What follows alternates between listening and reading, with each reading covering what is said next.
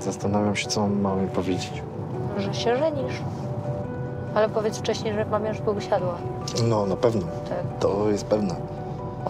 tak naprawdę nieuniknione. Albo w prawo, albo w lewo, więc nie rozumiem No, dlaczego. wszyscy mieli nadzieję, że w lewo.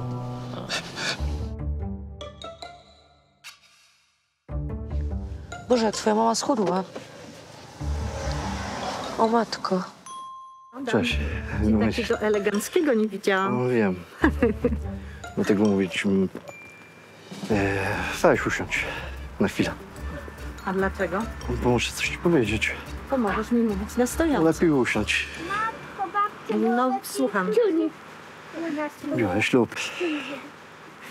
Takich rzeczy nie robi się z zaskoczenia, więc pomówiła, że jest taki program, owszem, zapraszała do wzięcia udziału, ale że miało być, nie wiem, No tak, się no. ze wspólnym zamieszkaniem, ale nie, że to będzie kończyło się ślubem. Ja ci powiem, że też jak usłyszałem wreszcie, co jest grane, mało nie upadłem, ale różne mieliśmy głupie pomysły, więc No właśnie, często mieliście durne pomysły. dlatego ja mówię ci, że no, wiem, że to jest wszystko na wariata, miało być inaczej. No, Gratuluję.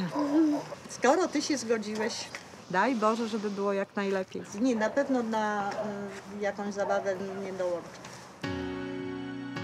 Nawet synowi nie udało się przekonać matki do przejścia na ślub.